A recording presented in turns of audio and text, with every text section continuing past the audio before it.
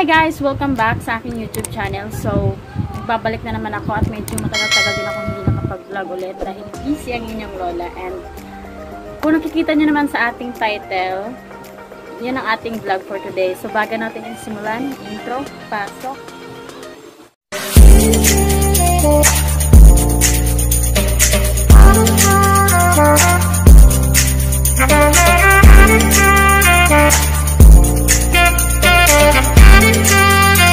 So, nakapag-vlog ako for today dahil no movement dito sa Cotabato City and ngayon is Sunday.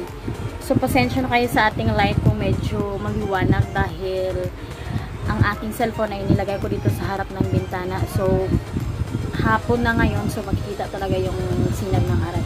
So, kung napapansin nyo bagong ligo ang inyong lola dahil yun na nga yung title natin kung nababasa niyo yun ang ating gagawin at bago natin yung simulan God. Tinanggal ko na yung towel ko kasi nakikita yung noo ko na malapad pag ginaganyan. So, yun na nga guys, mag-start na tayo dahil medyo mahaba-haba na din ang ating chika-chika. So, i-share ko sa inyo kung paano nawala yung mga pimples ko na ang tataba dati. Kung napapansin nyo, medyo matagal-tagal din akong hindi nakapag-vlog dahil dati, mga pimples ko, kung napapansin ninyo, marami po siyang naiwan na mga blackheads, blackhead po mga teklat, kumbaga.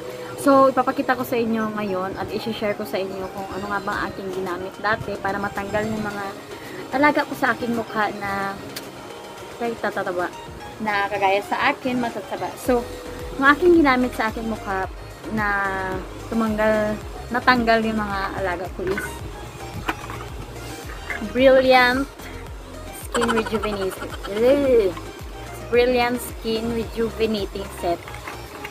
So guys, kung napapansin niyo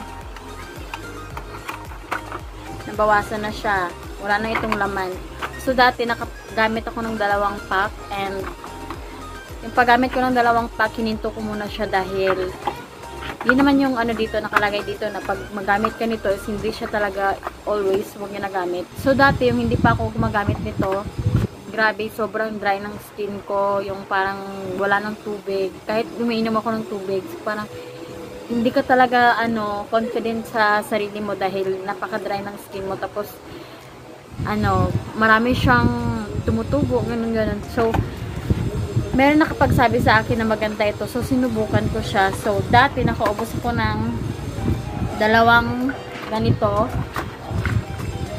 Nilagyan ko pa ng date ito dati. Ayan. Yan ako nag-start. June, July, August, September, October. O, 4 months. Mga 2 months ko lang ito siyang ginamit or 3 months and naghinto ako. Pero yung paggamit ko nito, hindi talaga siya straight. Nagamit ako for 1 month, tapos maghinto na naman ako, tapos ibalik ko na naman.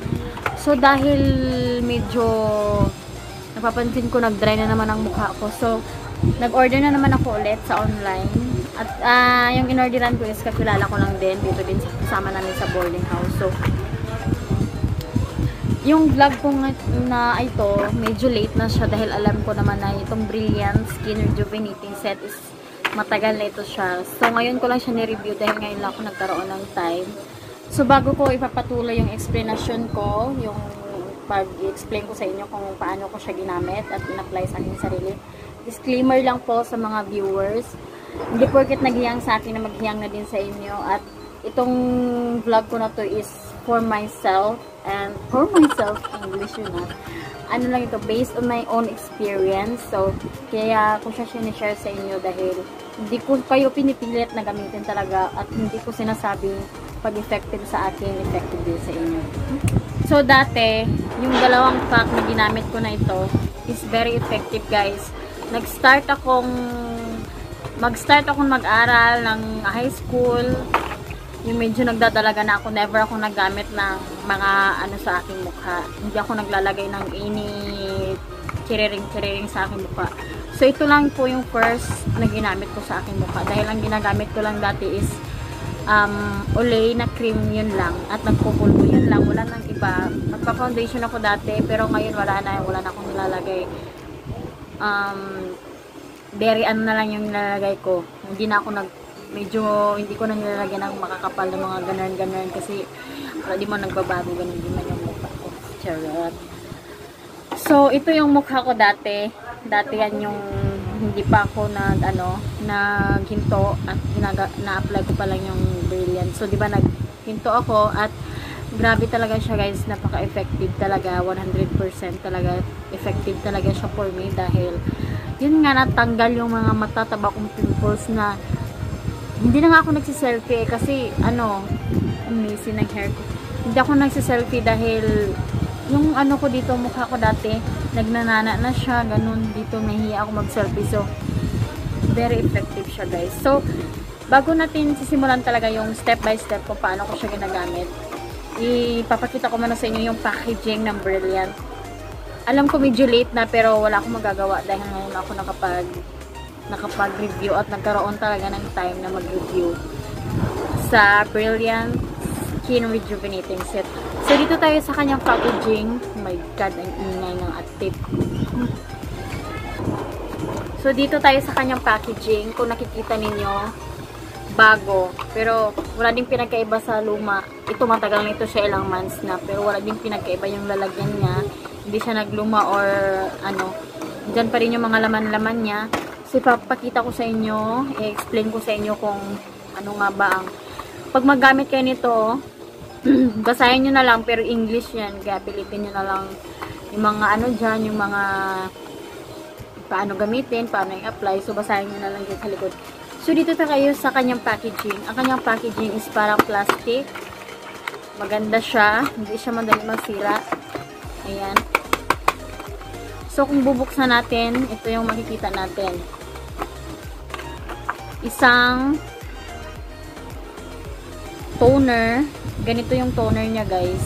Hindi masyadong maano kasi grabe ang sobrang liwanag. And meron siyang sunscreen. Ito yung ginagamit pag ano, pag umaga. Kunyari, kung butak lalabas ka, ito yung nilalagay mo. And then pag gabi, ito din ang ginagamit mo. facial cream pang gabi. Makita ninyo din kasi malalaman nyo din na pang gabi kasi may nakalagay yan dito. So, meron siyang sabon. So, yung sabon niya guys is very matapang. Very matapang. Ang tapang-tapang niya. So, i-advise ko na lang sa inyo pag magamit kayo nito, ikakat nyo na lang siya ng sobrang maliit masyado. Kasi malaki siya guys eh. Ito, malaki. So, nabawasan ko na ito siya ng isang cut ko pa siya nakat dahil wala lang, trip ko lang. So, kung ako sa inyo, i-advise ko na lang sa inyo para medyo tipid-tipid, matagal-tagal din maubos. Kailangan may ilalagyan kayong sariling sabon, yung sab para may box kayo na doon. Yung talaga siya ilalagay. Huwag nyo siyang ilalagay sa mga bimpo ninyo na basa dahil ano siya, madali siyang matunaw para din siyang kojic. Kojic na yung ordinaryong kojic lang. So, grabe pag magsabon kayo wag pa ulit-ulit isang daanan lang simple lang hindi yung pa ano pag maglagay kayo ng sabon gentle lang. At wag niyo masyadong ibabad sa inyong mukha dahil matapang siya. At grabe sobrang orange na guys. So dito na naman tayo sa toner. Ang toner is parang tandua yung amoy niya. Sobrang tapang. Sobrang tapang ng amoy niya. And pag maglalagay kayo nito, wag na masyadong damihan. Konti lang talaga at pat akyat yung paglagay ninyo, hindi yung pa-mix-mix na lang sa inyong mukha. Dahil hindi lang ito siya ordinary, eh, parang ang tapang talaga girl. Mas matapang pa sa kabit. So, ito na naman is sunscreen gel sunscreen gel cream. Ito ay pang umaga. So, kung hindi nyo maintindihan, kung nahihirapan kayong mag-intindi. Tignan nyo na lang pag malaman nyo pag umaga dahil meron siya ditong parang oh! Papatuloy na natin dahil may naghahanap ng gatas dahil may lulutuin daw yung nanay ng asawa ko. So, naglagay na din ako ng lip tint para naman medyo ano naman ako sa paningin ninyo, medyo tao naman mo. So, ang aking lip tint na ginamit ay walang iba. Yun din yung dating lip tint ko na pinakita ko sa vlog ko dati. At kung napapansin niyo yung balat-balat niya is natanggal na. Hindi yan marumi guys. Ganyan lang talaga yung balat niya dahil matagal na nga siya at hindi ako nagli-lipstick. Dati nagli-lipstick ako pero ngayon hindi na ako nagli-lipstick. Nagli-lip tint na lang. At meron din akong, i-share ko lang, meron akong bagong nabiling lip tint na Power Up. Power Up. Red Velvet. Yan guys. So, wag nyo nang itanong kung magkano dahil alam nyo naman na hindi ako mahilig sa mga mamahalin at hindi tayo maka-afford ng mamahalin. So, i-continue na natin ang ating discussion. So, dito na tayo sa tatapos na natin ito at na-explain ko na paano nyo malaman na pang umaga siya gagamitin. At dito na naman tayo sa panggabi. So, pag ina-apply nyo ito siya, pag gamit yung sabon, pag maghihilamos kayo, syempre, sabon yung gagamitin ninyo. Alam nga naman uling ang ilalagay ninyo, di ba?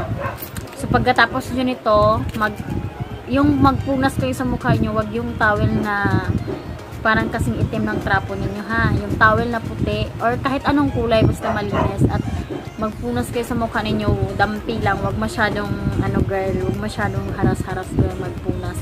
At ito yung ilalagay ninyo. At kung i-open natin ito siya, hindi ko pala napakita sa inyo isa kasi bago, 'di ba? So meron siyang kutsara na parang maliit, ganyan. At meron din siyang meron din siyang syempre may laman. So wag kayong mag-expect na kung gaano kalaki yung lalagyan niya, ganun din yung laman niya. Hindi, guys. Paasa talaga ito siya. Pero effective naman siya. So ito yung makikita ninyo. Hindi siya mag-focus kasi. Ayan, basta yan. Yan ang laman niya ito siya parang medyo ano bang tawag dito hindi siya malambot parang medyo matigas siya so yun. Yun ang ilalagay ninyo sa mukha ninyo bago kayo maghilamos para matulog. Panggabi ito ha? Panggabi. So ito naman meron pa siyang parang lock na parang cellophane kasi bago ito siya. So dahil parang feeling ko nagdadry na naman yung skin ko naggamit na naman ako ulit dahil nakapagpahinga na naman yung skin ko. At promise guys kung hiyang sa inyo ito effective talaga so ganun din. Meron din siyang parang maliit na kutsara. And iba ito siya guys. Parang malabnaw. Para siyang ano basta. Pag ganyan mo siya para siyang ano basta malambot. At maliit din yung laman niya. Hindi pa ito siya nababawasan dahil kagabi ang nilagay ko is ito dahil kagabi pa lang ako nag-start gamitin. So, ipapakita ko sa inyo ngayon kung paano ko nga ba siya ginagamit dahil kaninang umaga naghilamos ako, hindi ako naglagay ng toner or anything. At nagsa naisip ko na ganun, ngayon ko na lang i-apply since nagbablog na naman ako ngayon. I-share ko na lang sa inyo ngayon kung paano ko siya ina-apply. Let's start in 1, 2, 3. 80,000 impressions later. Kapakita ko sa inyo kung paano nga ba at paano ko nga ba siya na-apply sa aking face. So first, meron akong cotton dito na happy. Kasi palagi naman akong happy. So dapat ang ginagamit kong cotton is happy. So, wala akong cotton na yung kagaya ng iba na parang bilog. Hindi ko alam basta wala. So, lalagay, kukuha lang tayo ng toner at ilalagay na natin dito. Pag nilagay mo siya guys, para siyang ihi. Parang ihi ng taong na UTI. Para siyang yellowish na ano. So, ilang ano lang, ilang patak lang yung ilalagay natin. Ano. Puti yan girl. Hmm. So, ganyan.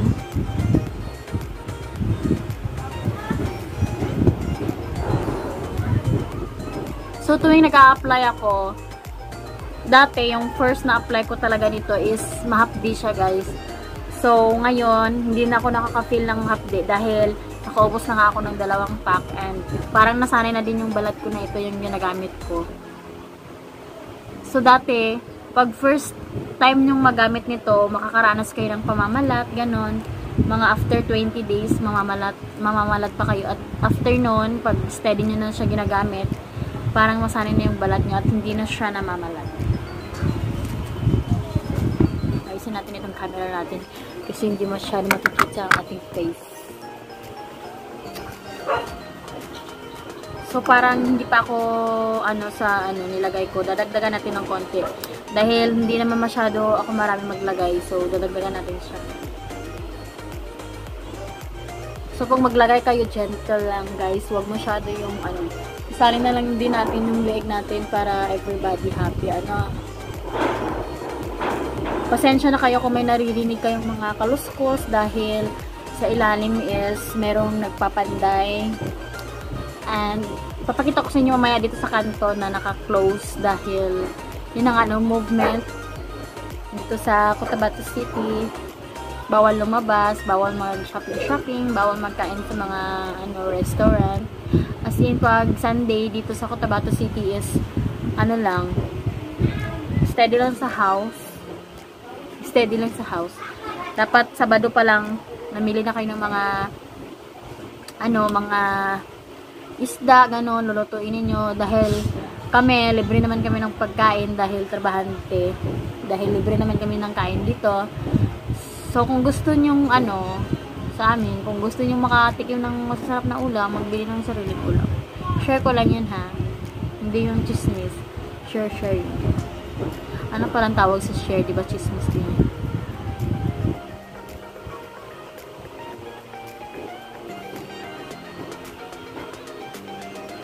So, gentle lang guys. Hindi ko alam guys kung mamamalat pa ba ako ulit dahil dati yung nagamit ako ng first na first time ko na diba namalat ako. So, pag yung naubos ko na yung isang pack and then stop na, na ako ng mga 2 weeks or 3 weeks, nagbalik na naman ako and ngayon, nagbalik na naman ako. Yung pagbalik ko dati, hindi na siya namamalat. So, hindi ko alam ngayon kung mamamalat pa ba ako or hindi dahil ngayon lang talaga ako nag-start ulit na gamit dahil for vlog. And hindi lang naman sa para sa vlog, para din naman sa face ko dahil ano siya, mas gusto ko yung naggumagamit ako ng Brilliant dahil ano, medyo ano yung face ko. Medyo hindi mo na kailangan mag-blush on, ganun, maglagay ng mga kemi-kemi para ano. Kasi hindi ako klaseng tao, hindi naman ako masyadong nagme-makeup, ganun, ganun. Ano lang, full bullet din, okay na yan. So, dahil tapos na tayo dito, mapuproceed na tayo sa ating ito. So, kanina naligo ako. Ito yung ginamit ko. Pang face, hindi ko siya nilalagay sa whole body ko. Mayroon akong ibang sabon pang hanggang dito pababa. So, ito pang face lang talaga siya. Kung magsabon kayo, isalin nyo na din yung mga liig ninyo para naman, ano, hindi puro mukha rin yung maputi girl. Ha? At kung napapansin naman ninyo, i-share ko lang ha, yung hair ko. Nagbago ng kulay dahil ganun naman talaga. Kailangan ng mga pagbabagong nangyayari sa sarili mo diba so hindi na natin siya kukutsarahin. Kakamayin na natin dahil sana naman akong maggamit ng kamay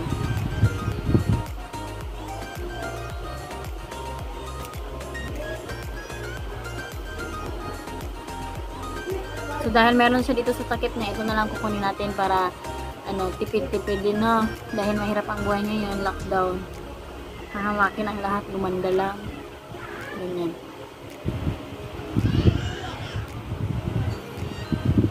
So, ganyan lang ka ano, simple mag-apply. Wala lang ibang ano, hindi mga para sa mukha kasi kung nasubrahan, wala na. Pangit na nga, masubrahan pa, wala na pag-asa. Isa natin dito sa bandang ilong kahit hindi matamos yung ilong natin, di ba? Ganyan lang kasimple guys. Hindi mo na kailangan mag ano, lagay ng maraming ano sa mukha. Sana hindi natin natin ang liig natin para everybody ano, everybody happy.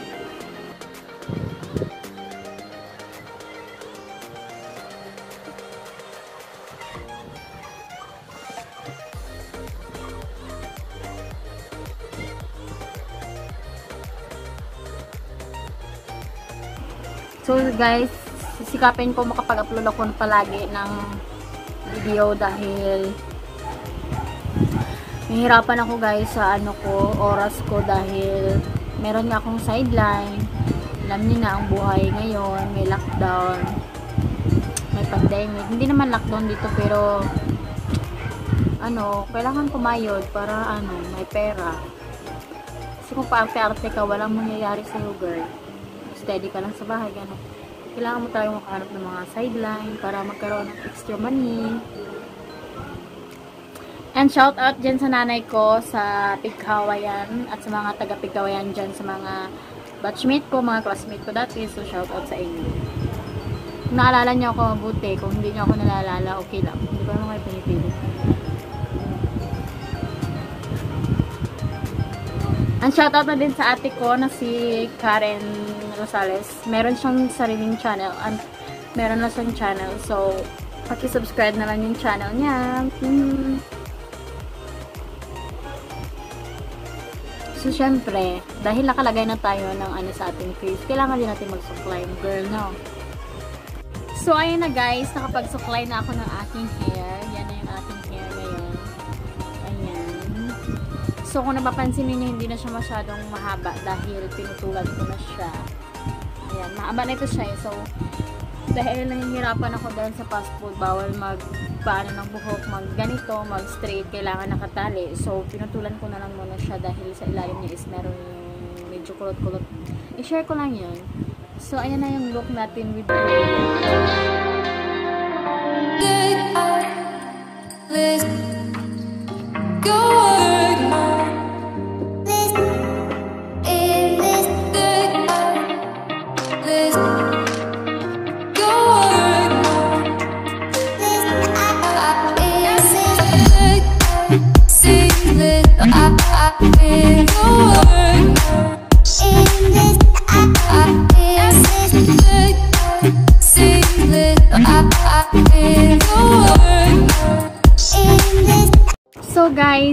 nag-enjoy kayo at meron kayong natutunan sa aking vlog for this day. And don't forget to click the notification bell para updated kayo sa aking mga video na i-upload. So, dahil Sunday ngayon at ngayon lang tayo nagkaroon ng isang whole day na wala tayong trabaho. So, dahil tapos na ako sa aking face, sa aking revealing, sa aking ginagamit sa aking face na nawala yung mga aking tigawat.